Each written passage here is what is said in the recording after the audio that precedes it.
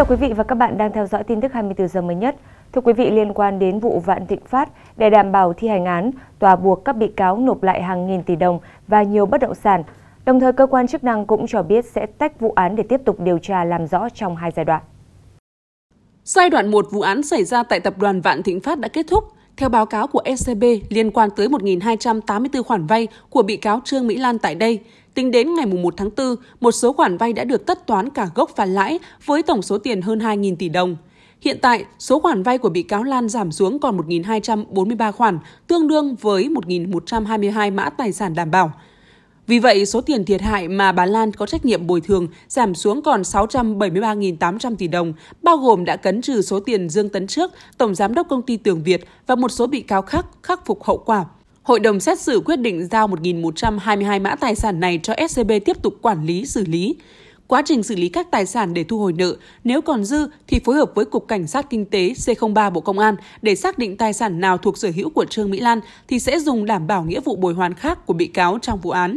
Hội đồng xét xử cũng cho biết, quá trình giải quyết vụ án đã thu thập sổ tay ghi chép của các nhà trợ lý của bà Trương Mỹ Lan, cho thấy số tiền 108.000 tỷ đồng và 14,7 triệu USD trở về tòa nhà Vạn Định Phát không chỉ từ SCB mà còn nguồn gốc trái phiếu. Vì vậy, Hội đồng xét xử đề nghị Cục C03 và Viện Kiểm sát Nhân dân tối cao trong quá trình điều tra mở rộng vụ án tiếp tục làm rõ sai phạm xung quanh số tiền này để làm căn cứ giải quyết ở giai đoạn 2. Cũng theo hội đồng xét xử, việc bị cáo Trương Mỹ Lan lấy tiền từ SCB đầu tư, chuyển nhượng nhiều dự án đang bị kê biên không có hồ sơ pháp lý rõ ràng. Do đó, hội đồng xét xử kiến nghị cơ quan điều tra tiếp tục xác minh làm rõ số bất động sản, dự án liên quan tới bị cáo chưa được giải quyết trong vụ án này để xác định đúng bản chất, giải quyết theo quy định của pháp luật, đảm bảo việc kê biên khắc phục thiệt hại. Ngoài ra, hội đồng xét xử cũng tiếp tục kê biên, tạm giữ đối với các bất động sản, cổ phần, giấy chứng nhận quyền sử dụng đất, sổ tiết kiệm, các tài sản khác của công ty thuộc tập đoàn Vạn Thịnh Phát đứng tên sở hữu hoặc giao cho các cá nhân đứng tên hộ của các bị cáo, những người liên quan khác để đảm bảo thi hành án nghĩa vụ tương ứng. Bên cạnh đó, hội đồng xét xử buộc bị cáo Dương Tấn Trước phải bồi hoàn tiếp cho SCB hơn 692 tỷ đồng. Trong trường hợp tài sản của vợ chồng bị cáo trước không đủ, thì dùng toàn bộ các tài sản đang bị kê biên của bị cáo Cao Việt Dũng để đảm bảo tiếp nghĩa vụ bồi hoàn của bị cáo trước. Tòa buộc bị cáo trước phải nộp lại số tiền 2.204 tỷ đồng. Số tiền này sẽ được khấu trừ vào nghĩa vụ của bị cáo Trương Mỹ Lan buộc bị cáo Nguyễn Thanh Tùng và công ty dầu khí Đông Phương phải bồi hoàn số tiền 443 tỷ đồng cho SCB,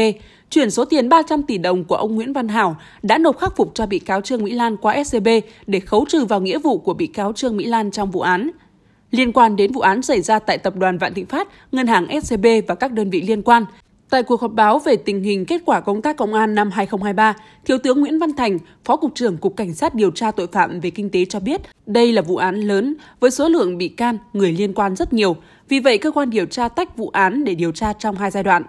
Ở giai đoạn 2, Bộ Công an tập trung điều tra hai tội danh chính là lừa đảo chiếm đoạt tài sản liên quan đến trái phiếu và rửa tiền liên quan đến tập đoàn Vạn Thịnh Phát – Đối với hành vi rửa tiền, Thiếu tướng Thành cho biết số tiền mà bị cáo Trương Mỹ Lan rút được qua hoạt động ngân hàng đã được bị cáo này đem đầu tư, mua gom các bất động sản trên toàn quốc và chuyển một phần ra nước ngoài.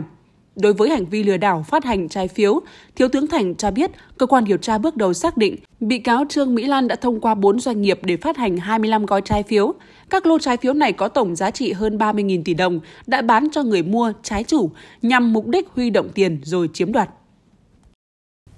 Trước đó, chiều ngày 11 tháng 4, Tòa án Nhân dân thành phố Hồ Chí Minh đã tuyên phạt bị cáo Trương Mỹ Lan mức án tử hình cho ba tội danh đưa hối lộ, vi phạm quy định về hoạt động của ngân hàng và tham mô tài sản. Với bản án trên, nhiều người thắc mắc đặt ra câu hỏi, vậy số phận núi tài sản khổng lồ của Trương Mỹ Lan sẽ đi về đâu sau phiên tòa sơ thẩm? Mời quý vị và các bạn hãy cùng chúng tôi tìm hiểu ngay sau đây.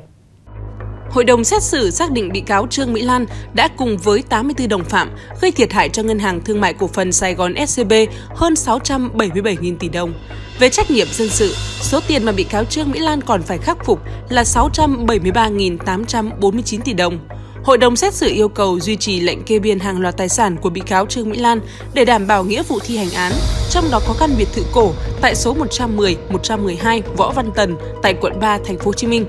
Theo tòa, hiện chưa thu giữ được sổ đỏ của căn biệt thự này. Mặc dù con gái của bị cáo Trương Mỹ Lan là bà Chu Duyệt Phấn đã xin hủy kê biên, nhưng xét thấy đây là tài sản của bị cáo Trương Mỹ Lan nên tòa đã bác yêu cầu. Hội đồng xét xử cho biết, cổ đông công ty sở hữu tòa nhà này thực chất là con cháu của bị cáo Trương Mỹ Lan, nên đây là tài sản của bị cáo. do đó hội đồng xét xử tuyên tiếp tục kê biên để đảm bảo nghĩa vụ bồi hoàn của bị cáo. Tài sản này, Ủy ban nhân dân thành phố Hồ Chí Minh chỉ cho trùng tu, không được thay đổi hiện trạng.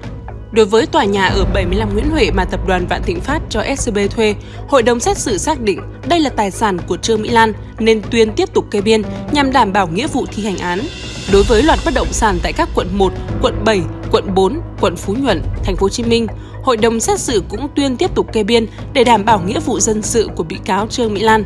Ngoài ra, công ty cổ phần TNT Hạ Long và công ty Âu Lạc đã nhận từ Trương Mỹ Lan hơn 6.090 tỷ đồng để chuyển nhượng 18 triệu cổ phần. Hội đồng xét xử cho rằng bị cáo Lan có nghĩa vụ rất lớn phải thực hiện. Tiền bị cáo đưa cho hai công ty này là tiền từ SCB. Do đó, hội đồng xét xử cho rằng phải thu hồi về cho SCB nên buộc công ty cổ phần TNT Hạ Long và công ty Âu Lạc nộp lại 6.090 tỷ đồng. Với tài sản kê biên của bị cáo Trương Huệ Vân, Tổng Giám đốc Công ty Tập đoàn Quản lý Bất động sản Windsor và là cháu gái của bị cáo Trương Mỹ Lan, hội đồng xét xử nhận định bị cáo được bị cáo Lan nuôi nấng từ nhỏ, bản chất tài sản là của bị cáo Trương Mỹ Lan nên tuyên tiếp tục kê biên, đảm bảo nghĩa vụ thi hành án. Số tiền 5,2 triệu USD mà bị cáo Đỗ Thị Nhàn, cựu cục trưởng cục thanh tra giám sát ngân hàng 2 kiêm trưởng đoàn thanh tra tại SCB nhận hối lộ. Hội đồng xét xử xét thấy tiền này do bị cáo Trương Mỹ Lan rút ra khỏi SCB là công cụ thực hiện hành vi phạm tội nên cần tịch thu xung công quỹ nhà nước Ngoài ra, tòa buộc bị cáo Đỗ Thị Nhàn phải nộp phạt 100 triệu đồng ngoài trách nhiệm hình sự. Đối với hơn 1.100 mã tài sản còn lại trong vụ án đang thế chấp ở SCB, hội đồng xét xử tuyên giao cho SCB tiếp tục quản lý xử lý để thanh toán dư nợ. Trong số này có một số mã tài sản thuộc sở hữu của bị cáo Trương Mỹ Lan nhưng cho người khác đứng tên hộ. Hội đồng xét xử áp dụng xem xét theo nguyên tắc có lợi cho các bị cáo trên tổng số tiền thiệt hại là 498.000 tỷ đồng. Về trách nhiệm dân sự, thực tế bị cáo Trương Mỹ Lan chiếm đoạt gây thiệt hại hơn 677.000 tỷ đồng, tương đương dư nợ của 1.284 khoản vay. Thực chất bản chất hơn 1.280 khoản vay của SCB, các bị cáo thực hiện không đúng quy định pháp luật. Số hợp đồng này là phương thức thủ đoạn để bị cáo Lan rút tiền SCB sử dụng. Do đó, tòa chỉ buộc bị cáo Lan bồi hoàn tiền lãi, toàn bộ dư nợ hơn 1.280 khoản vay được xác định chiếm đoạt, gây thiệt hại 677.000 tỷ đồng cho SCB. Theo hội đồng xét xử, tính toán khấu trừ phần nghĩa vụ của bị cáo Nguyễn Cao Trí, Chủ tịch Hội đồng Quản trị công ty Văn Lang và công ty Capella và bị cáo Dương Tấn Trước, cựu Tổng Giám đốc công ty Tường Việt thuộc hệ sinh thái Vạn Thịnh Phát đã hoàn trả cho bị cáo Trương Mỹ Lan thì số tiền mà bị cáo Trương Mỹ Lan còn phải khắc phục là 673.849 tỷ đồng. Tòa ghi nhận sự tự nguyện của bị cáo Dương Tấn Trước nộp lại hơn 2.200 tỷ đồng đã nhận của Trương Mỹ Lan. Một số cá nhân nhận tiền từ bị cáo trước, nguồn tiền có được từ vụ án, tòa yêu cầu phải nộp lại. Đối với những số tiền mà các bị cáo tự nguyện nộp khắc phục hậu quả vụ án, hội đồng xét xử cho rằng trong vụ án này, tòa không buộc các bị cáo phải chịu trách nhiệm dân sự. Song các bị cáo tự nhìn nhận sai phạm, tự nguyện nộp tiền, hội đồng xét xử sẽ ghi nhận, tình nguyện và xem xét giảm nhẹ khi lượng hình. Do đó, những số tiền này sẽ được chuyển cho SCB khấu trừ nghĩa vụ của bị cáo Trương Mỹ Lan trong vụ án. Với số tiền cổ phiếu, đồ vật đã kê biên phong tỏa thì tiếp tục thực hiện để đảm bảo nghĩa vụ của bị cáo Lan. Theo hội đồng xét xử, trong quá trình SCB thu hồi nợ, khi đã giải quyết xong các khoản nợ, phần còn lại SCB phải phối hợp với cơ quan điều tra xác định tài sản nào của bị cáo Trương Mỹ Lan để tiếp tục đảm bảo nghĩa vụ thi hành án cho bị cáo.